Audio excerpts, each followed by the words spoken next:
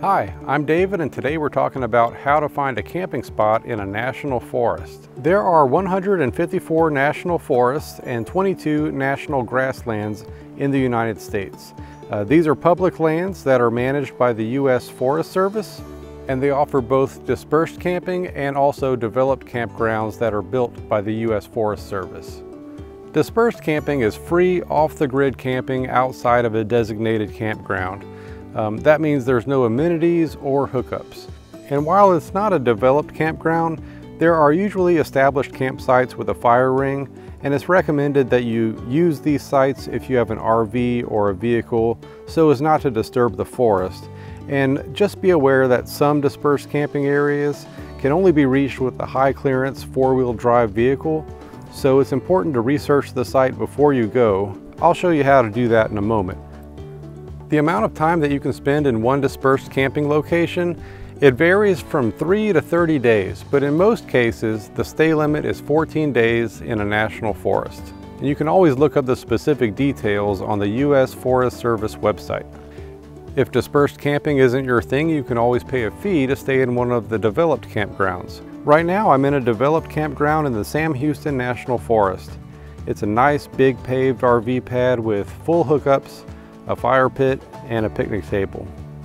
At this time in 2022, the fee to stay here is $30 per night, and there's also a senior discount if you have a Golden Age Pass. Not all developed campgrounds have full hookups, but they'll usually have at least a water refill station, a fire ring, a picnic table, and a parking spot with some kind of restroom facility, even if it's a vaulted toilet. Sometimes locations have showers as well. The U.S. Forest Service's website is very useful, but my favorite way to find a good camp spot in a national forest is by using campendium.com. It's just a wealth of information and reviews from people who have actually been to the campground that you're looking at.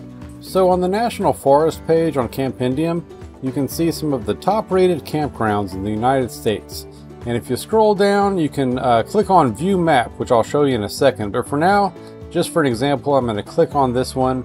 So on a Campendium listing, you can see the name of the campground, the address, the phone numbers, the website, which will be the Forest Service website, um, the GPS coordinates, and these handy icons, like this one says open seasonally, four-wheel drive recommended. Those are very good things to know before you drive out there.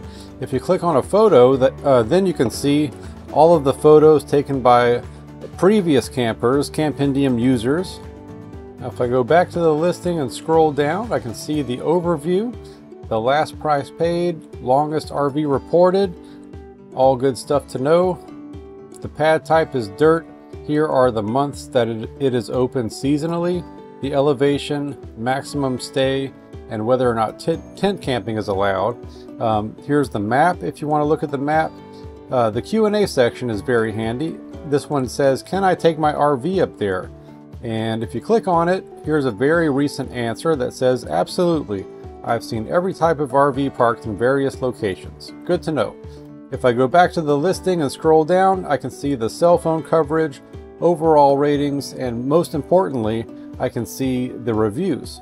Now on some user profiles, they list what kind of vehicle they're in. Like this one, I can see they're in a 15 foot travel trailer and they have a very helpful review there. This user is in a 27 foot Airstream and sometimes in the reviews they'll talk about the conditions of the roads and what it was like getting to this campground because um, some of these you need a high clearance vehicle.